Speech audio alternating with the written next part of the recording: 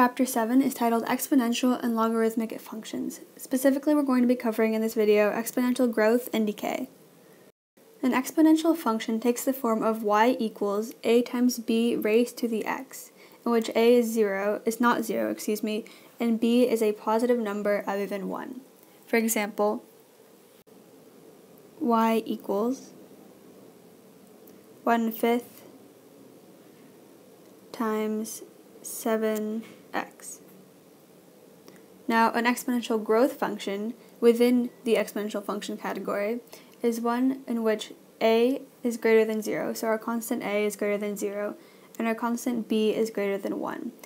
In this example or in this function, b is our growth factor. So we could have y equals 3 times 5x. This would be an, an exponential growth function. So the parent function of an exponential growth function, not to be redundant, is f of x equals b raised to the x. So the graph of this looks like this, in which we have the point, or I'll move that up. We have the point 0, 1. So 0, 1 and a point 1b.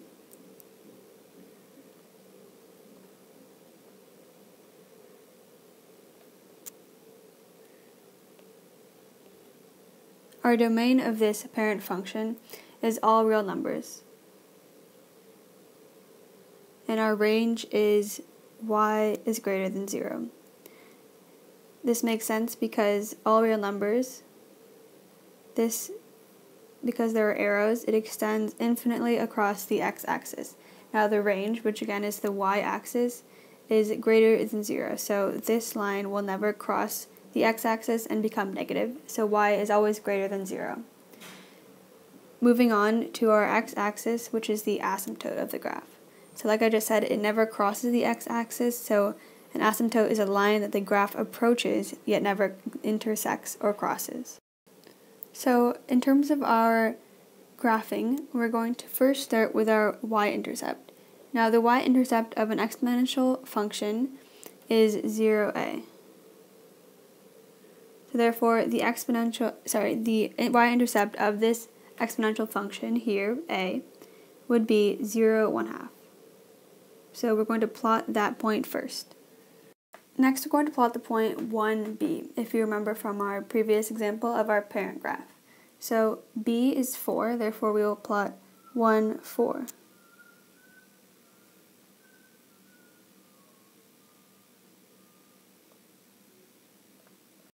We can use an xy table, as we've done before, to find more points to plot, and then we can connect those points to have our function. Therefore, this is a rough sketch of what our function would look like. Now, having used the graphing utility, this is our official graph for the function y equals 1 half times 4 raised to the x. Now let's move on to our problem b. Our function is y equals negative 5 over 2 to the x. So once again, we're going to plot our y-intercept and our 1b values. So our y-intercept, again, that has the form of 0a, so 0, negative 1, And then our second point is 1b. So 1, negative 5 over 2. Once again, we're going to plot these. So we've plotted these two points and now we're going to connect them. So this time we are approaching the x-axis from below. So like we've done for several types of functions, we're going to be translating exponential functions. So, like the previous examples, we're always going to be translating h units horizontally and k units vertically. So, before we translate, let's begin with our parent function. That is y equals 2 to the x. But we can really just start with 4 times 2 to the x. So we know from this that we pass through 0, 4, and 2, 8. and we can make an xy table to find even more points and to verify those, but if you plug in 0, 4 times 2 to the 0 is just 4 times 1. Therefore, we have 2, 8, and 3, 4 times 2 to the third, we have 32. This is just to give us a general idea of where this graph is going. We don't necessarily need to point the third point, or excuse me, to graph the third point or plot it, but just to know the general trend of our graph. Next, our asymptote is negative 3.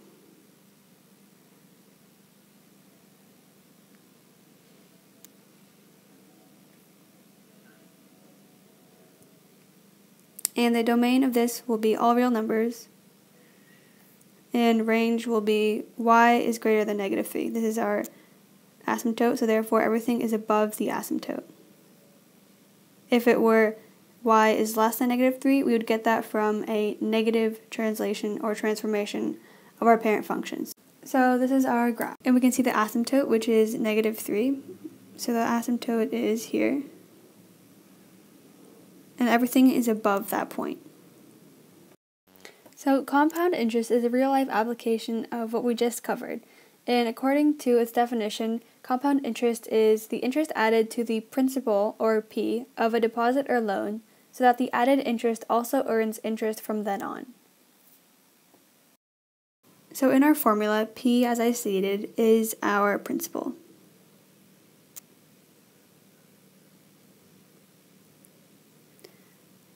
R is our annual rate.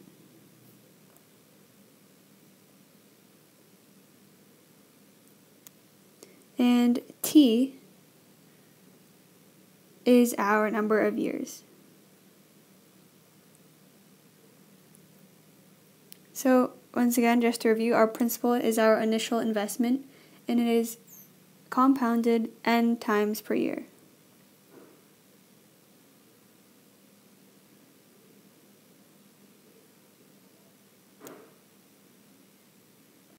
So we have this word problem here. You deposit $4,000 in an account with a 2.92% annual interest.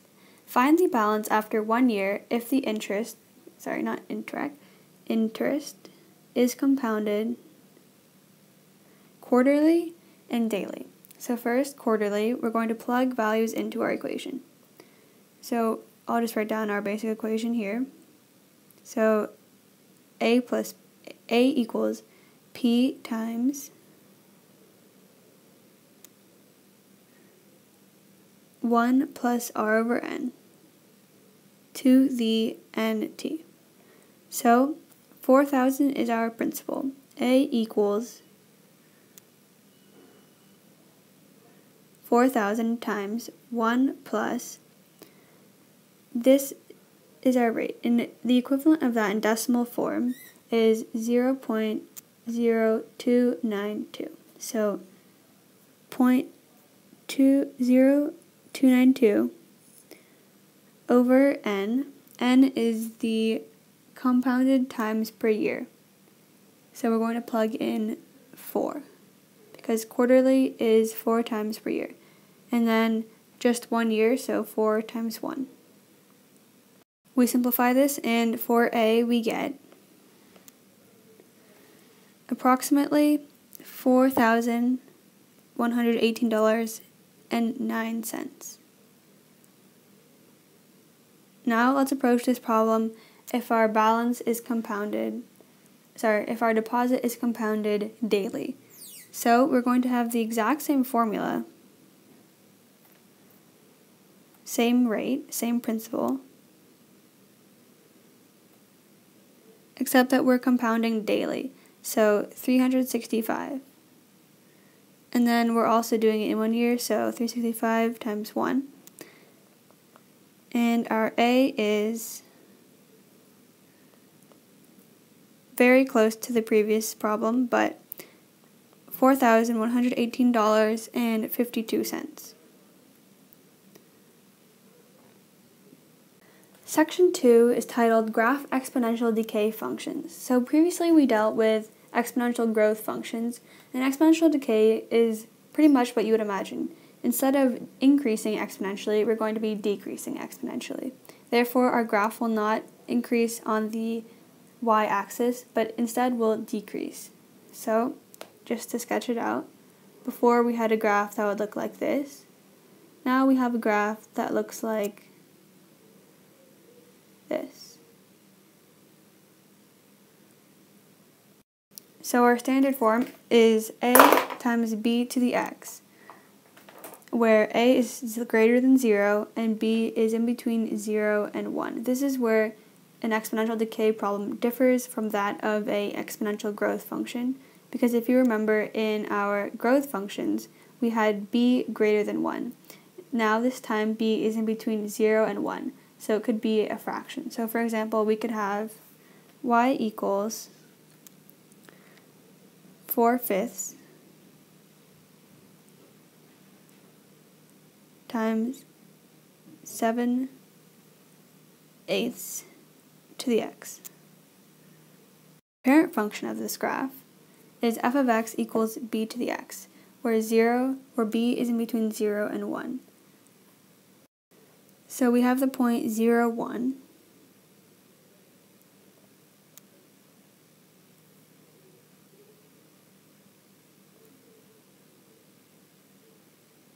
and the point 1b.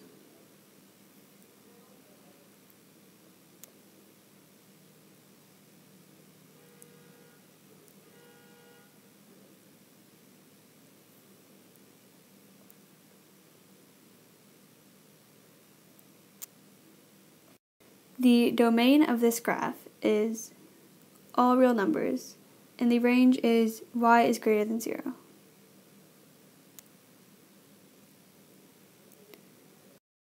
So let's graph some problems. First, we're going to plot our y-intercept as we did before, and this is 0a. So in this problem, we have 0, 2 as our y-intercept. And next, we're going to plot our 1b point. This is 1 1 fourth. So in our graph here, we can identify our points. So we have 0, 2, I'll do that in red, 0, 2, and 1, 1 fourth. Now, to have drawn this graph, we will either need to plug in points in our xy table, or think about extreme problems. So if we go extremely to the right, so if you plug in a very big value, is it going to be above or below the x-axis?